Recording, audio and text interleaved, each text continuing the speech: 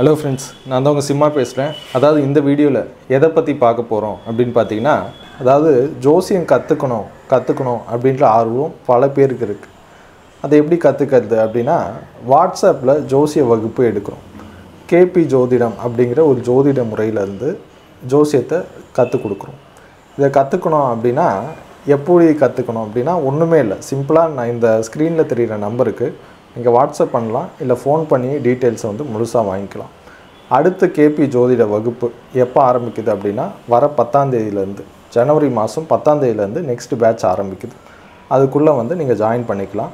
இதனுடைய கட்டணம் எவ்வளோன்னு பார்த்தீங்கன்னா வெறும் த்ரீ தௌசண்ட் ருபீஸ் மட்டும் அதாவது மூணாயிரம் ரூபாய் மட்டும்.